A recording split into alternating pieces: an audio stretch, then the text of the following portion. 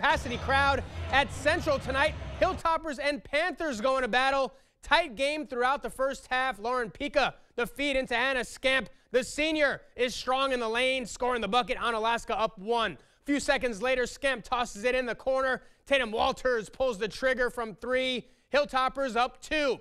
Panthers closing out the half strong, though. Josie Brudos driving the lane, buries the floater at the buzzer.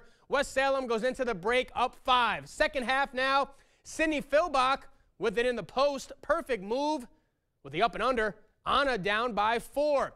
Panthers respond though. Megan Johnson to Sydney Quick on the wing. Nothing but nylon. Panthers stretch the lead to a dozen, and the barrage from deep was underway. Brudos, corner pocket, book it. 52 37 West Salem. Quick, not done yet. She's going to let it fly from her favorite spot.